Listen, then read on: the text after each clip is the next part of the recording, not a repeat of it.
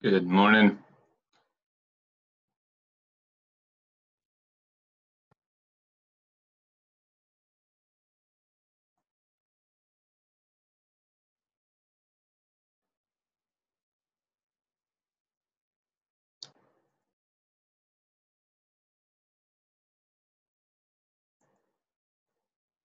I'm gonna go over what happened yesterday right quick. My my platform um, starts working with me.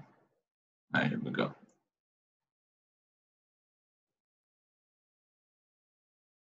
So this is where we were at yesterday morning, and we shorted this um, around six, and finally started moving here toward the end of the hour.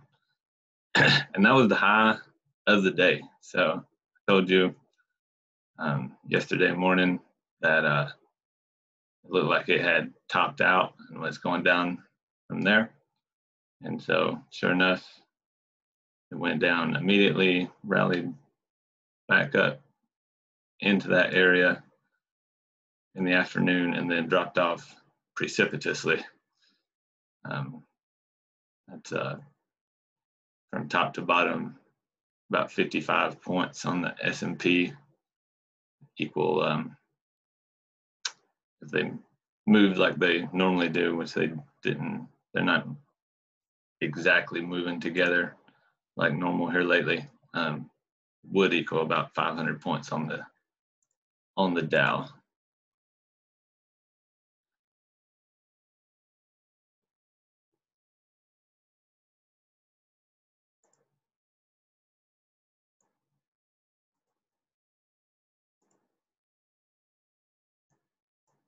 Oh, uh, go back to that for a minute.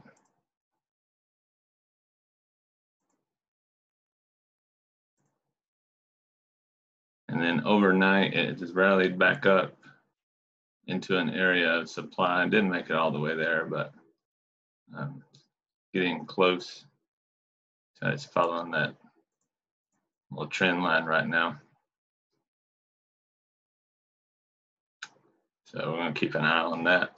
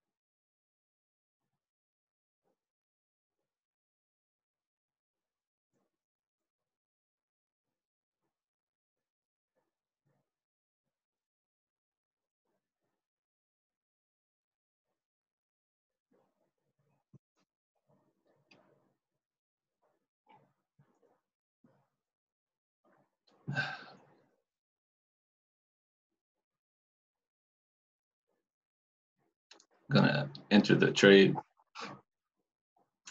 Sell um, 79.75. You can get in at 80 quarter right now.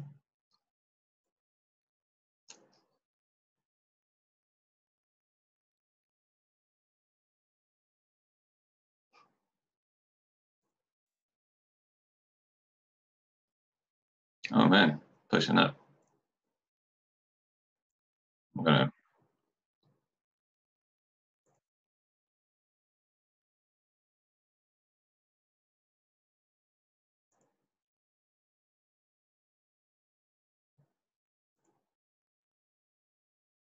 re-enter the trade.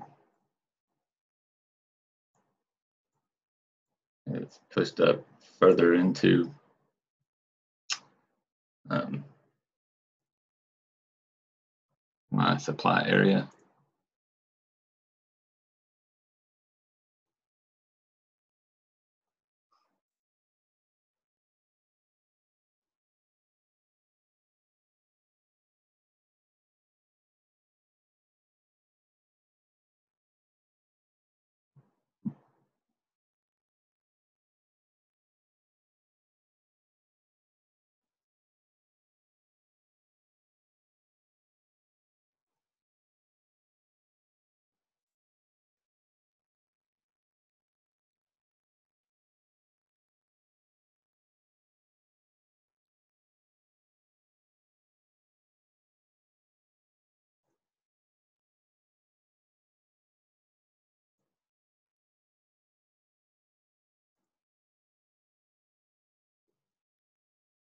Could also short the S&P right here.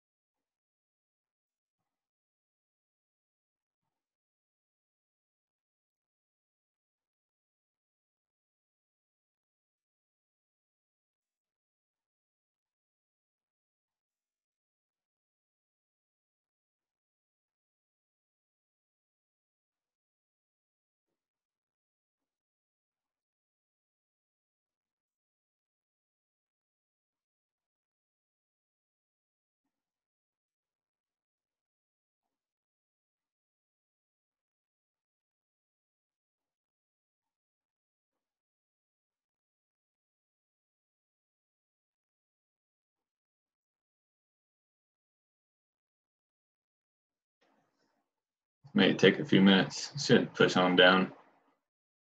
Maybe 10, 10, 15 points.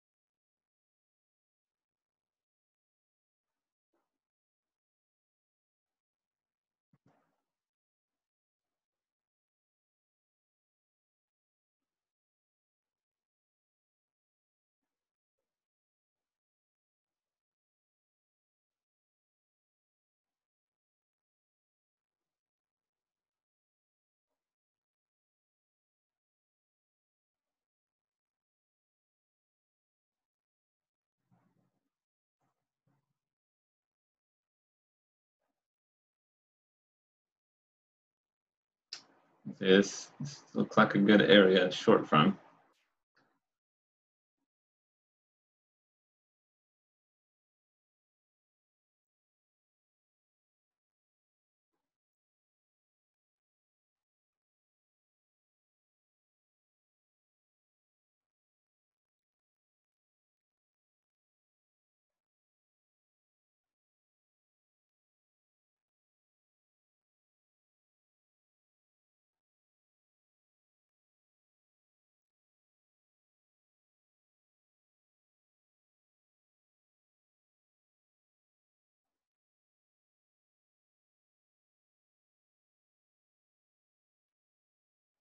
We'll buy, buy back three at 10,977.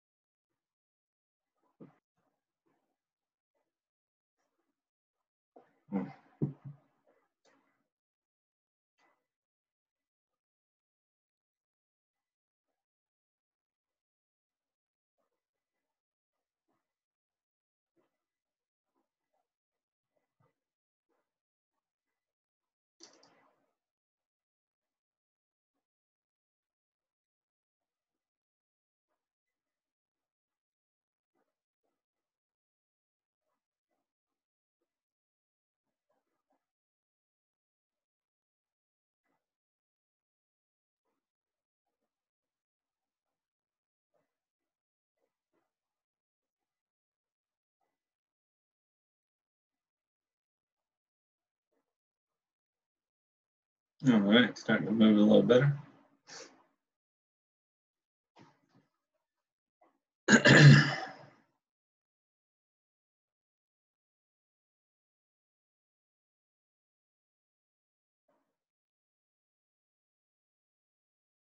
Push on down to 977.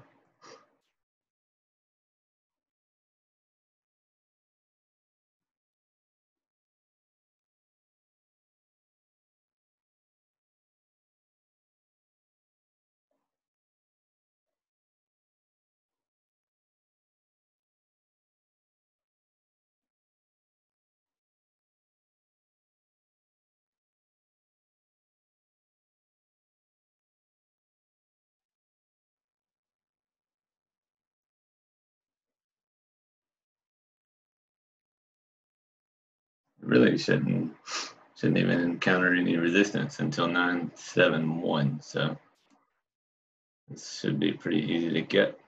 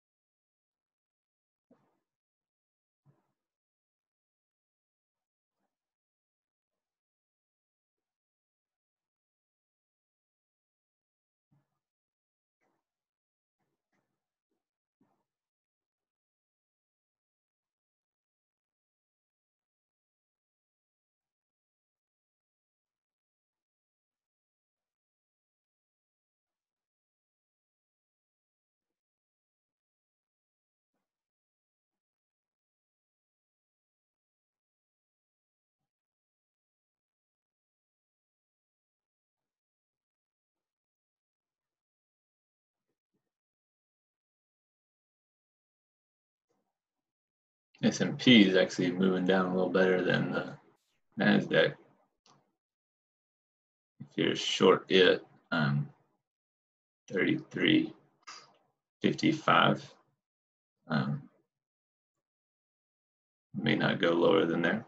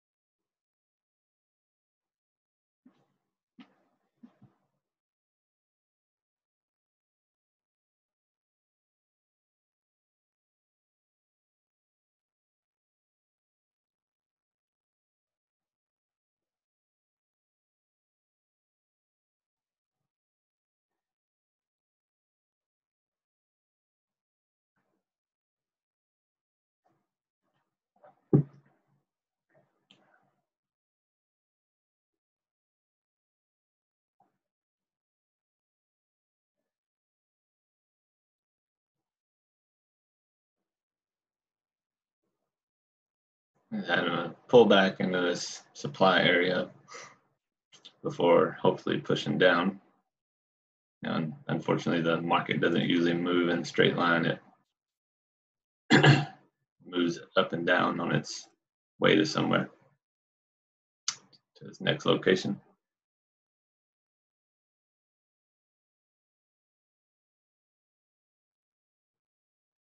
Part of what makes it so hard. If it moved in straight lines, it'd be a lot easier.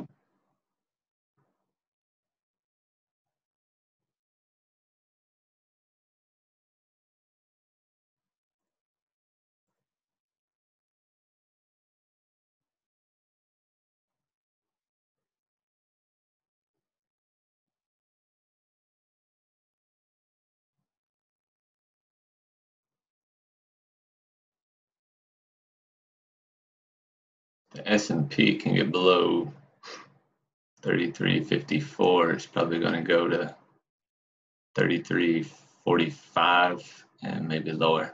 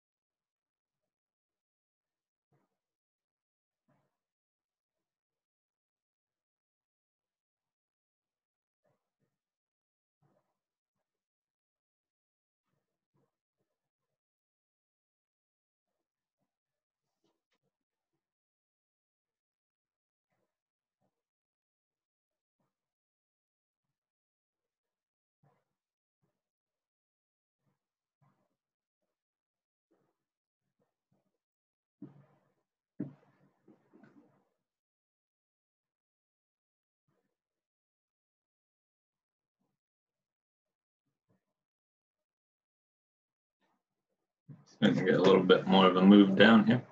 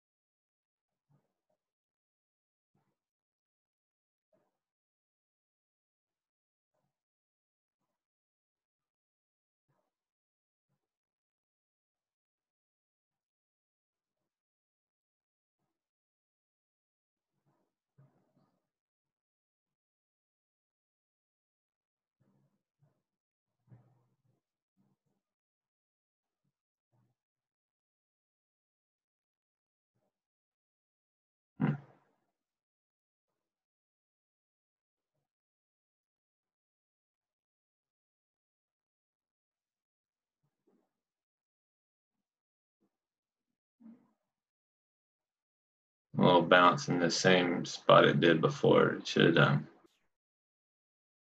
take that out in the next few minutes.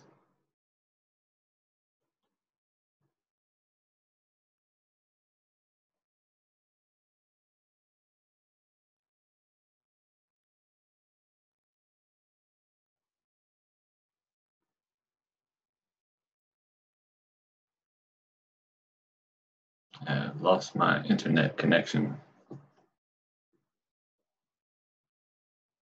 All right, coming back. Platform reconnected. All right, starting to push on down here.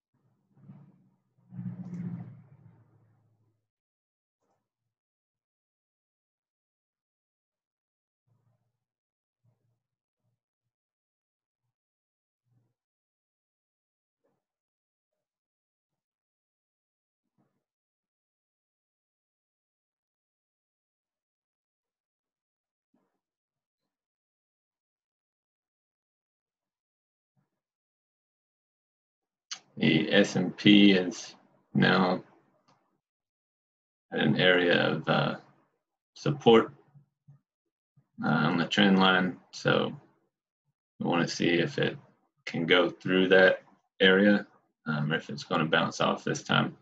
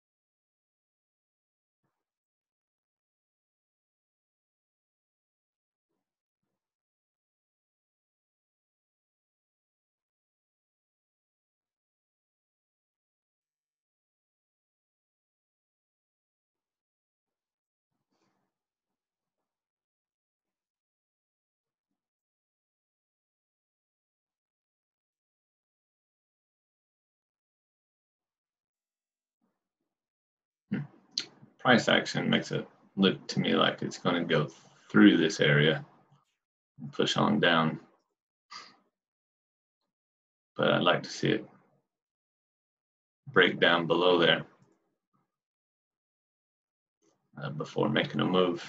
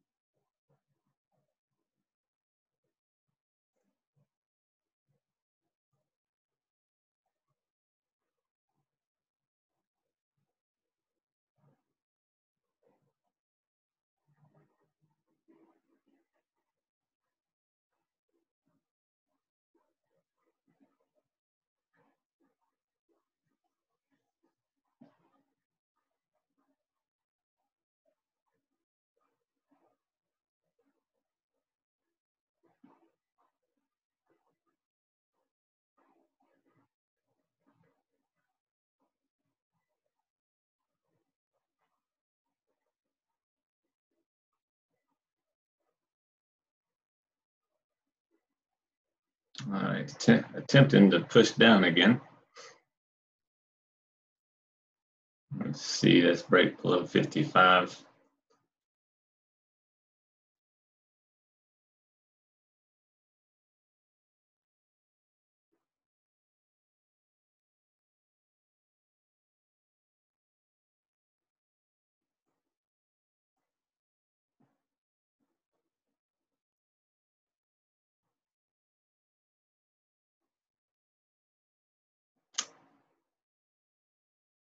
On the NASDAQ, still trying to get to 977.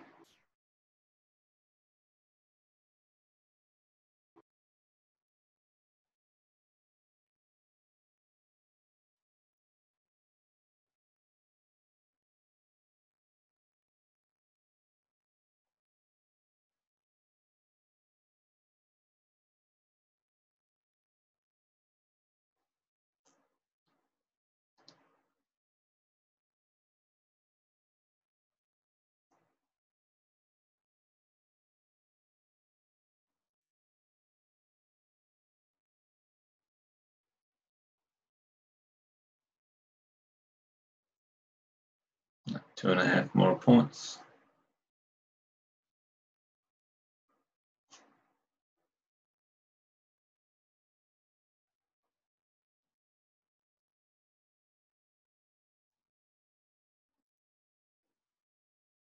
Seventy-eight.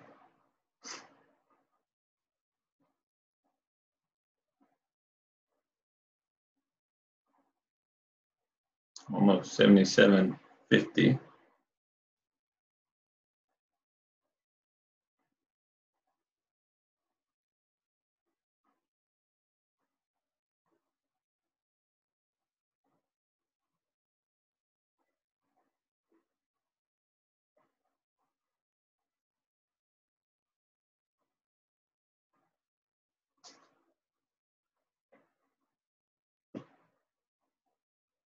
S&P is trying to break down, like dip just below 33.55.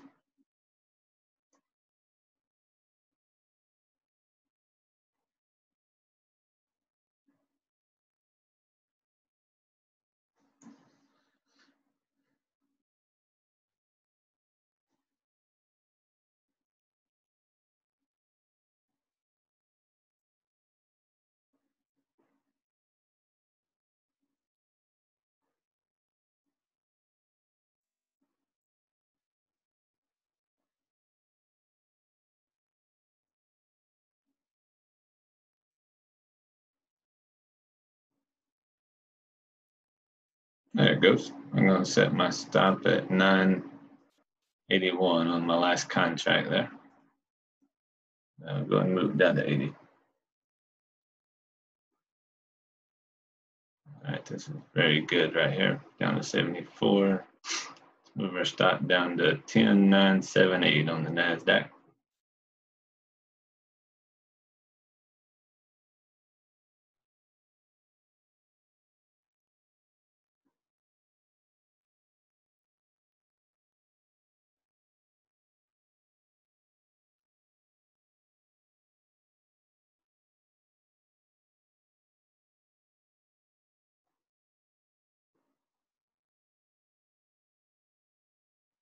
S and P's continuing to break down. It's hit fifty-four.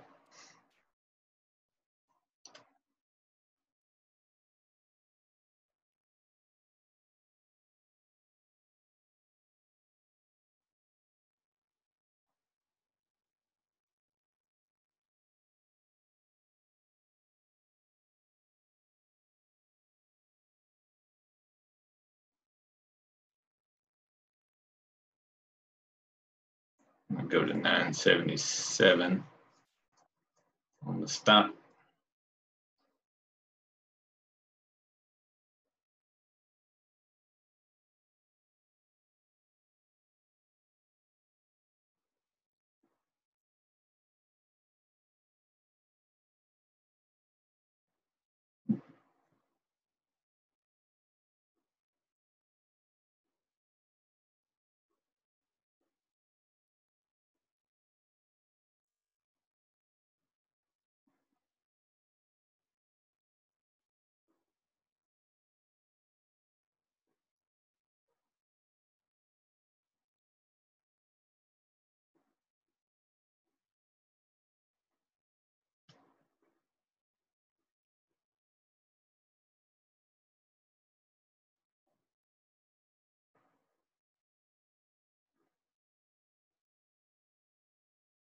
Go nine seven six.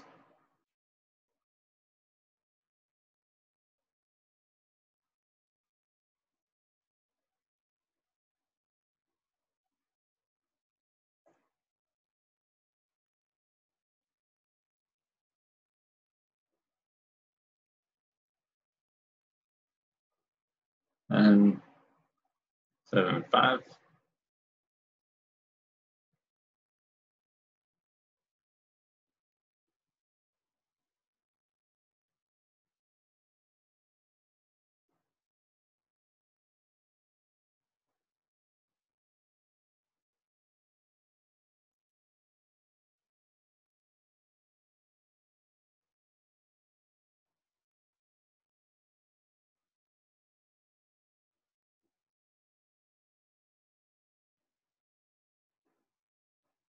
Seventy-four fifty.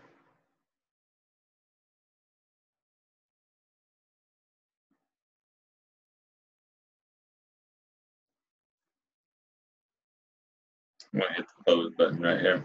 All right. Another good day today. Um, three hundred and eighty dollars.